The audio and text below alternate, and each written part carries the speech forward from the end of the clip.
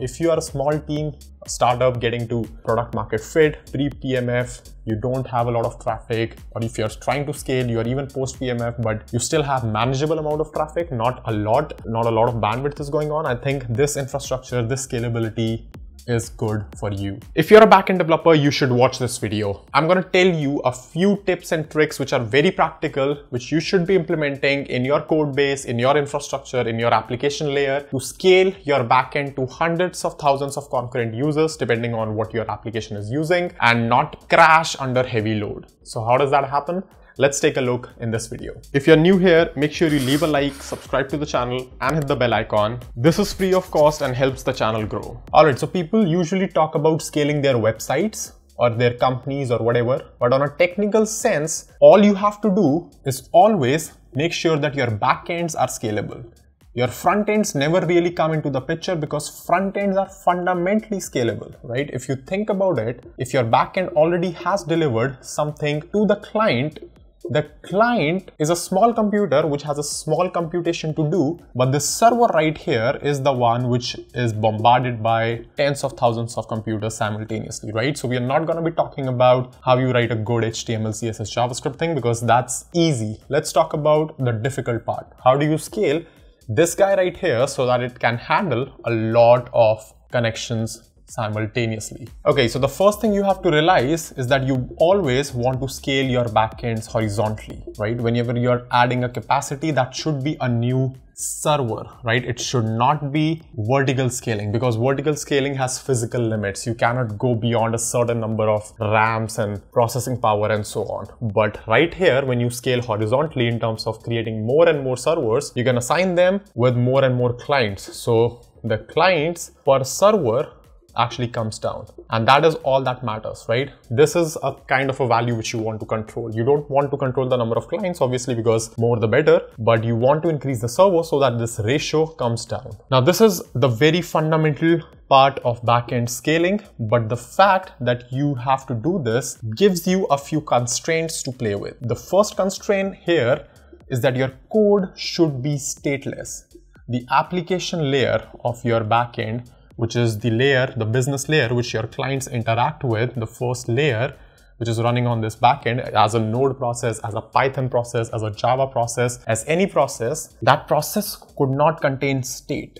By state, what I mean is let's say you are doing some sort of authentication and you are storing the connected clients or clients which are last active in an array inside of your code, right? This is a disaster because if you do horizontal scaling, this server would create a fresh copy and the way scaling works, these servers are assigned randomly to clients depending on what the load is currently. And if you're assigning a wrong server to the wrong client every single time, your client would just have a lot of hard time in terms of authenticating properly. So for example, if you're using some sort of authentication and matching it with a key value inside local state, that's wrong. You have to move your state somewhere central, right? Now what that central could be, that central could be a Redis store or that central could be a actual database like MongoDB or MySQL. So once you do that, you have to just make sure that this horizontal scalability is present. Now, this is easier in some cases if you're using, for example, Lambdas at AWS. Lambdas can automatically horizontally scale till the limit you have specified, right? And it will just automatically shrink as well and you will only pay the cost while your code is executing. So that's the beautiful part. You can also do this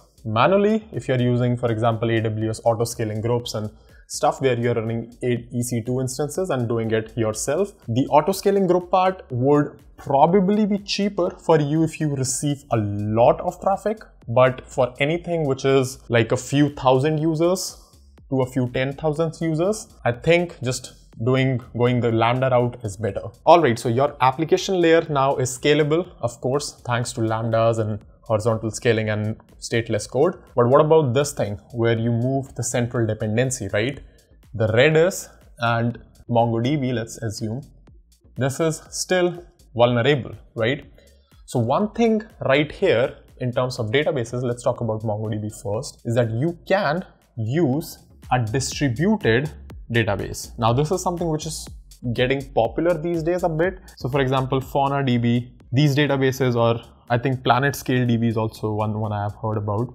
I haven't really used it, but Planet Scale database. These sort of databases, what they do is they expose your database over an HTTP server and they manage the internal scaling and read writes and everything on their own. Now with databases, the interesting part is that even though you can scale the compute all over the world, if you want to scale the database all over the world, you will lose out on things like strong consistency. If you want strong consistency, then you would lose out on things like performance. So it's a close competition between performance and consistency and what should come before, what you should op optimize for. But the idea is that you should not really think a lot about, at least in the initial stages, as long as you're picking a scalable system. So FaunaDB, PlanetScale DB. these are kind of some new choices which might not be very applicable for companies who already have existing databases. Uh, but even for MongoDB and MySQL or you know anything which, which requires some SQL based database, I think there are options where you can use managed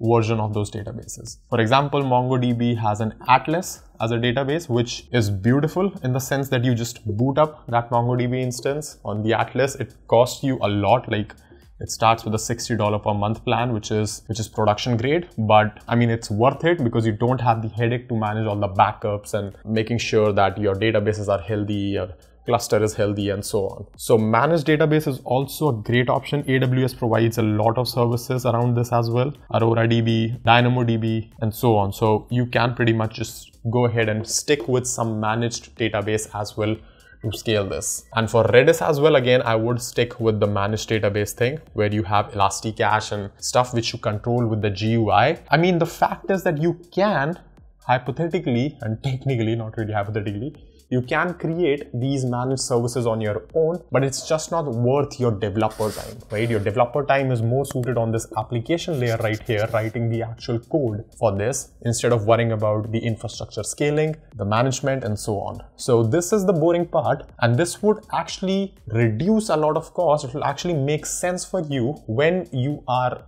a huge company, right? When you are actually trying to just optimize a lot of cost factors and so on. If you are a small team, a startup getting to product market fit, pre-PMF, you don't have a lot of traffic, or if you're trying to scale, you're even post PMF, but you still have manageable amount of traffic, not a lot, not a lot of bandwidth is going on. I think this infrastructure, this scalability is good for you. Then another tip which I have is always try to use managed, like we all already discussed managed database, but also try to use managed services. For example, always prefer S3 over storing files on your own, right? Always try to prefer Lambdas, I would say, compared to just building your own upscaling, downscaling service or even using, I mean, AWS obviously provides things like Fargate for Dockers and stuff, but try to use managed services. They make your task a bit easier. And if it is a cheaper service, then it is most likely a lot scalable and if it is cheaper and managed it's most likely probably like built for scale right? So yeah these were my two three tips two three important things you should keep in mind when you're trying to design a backend that needs to be scaled. The